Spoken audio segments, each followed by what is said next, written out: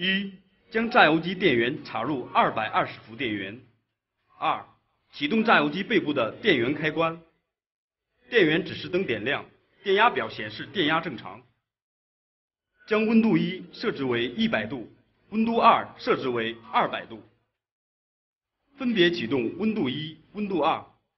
温度表绿灯点亮，绿灯点亮表示正在加温。红灯点亮表示已达到正常的工作温度。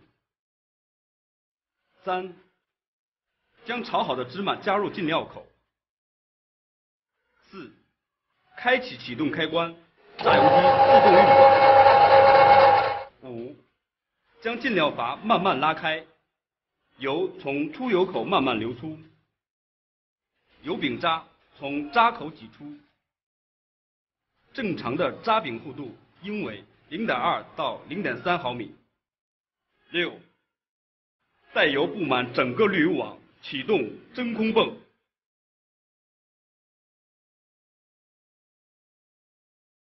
打开真空泵气阀，油通过滤网被吸入储油罐，通过真空泵转换开关，选择需要过滤的储油罐，将成品油经过储油罐下方的阀门装入容器。新型芝麻榨油机出油率高出传统的榨油机一到两成，一般家庭妇女一人即可操作。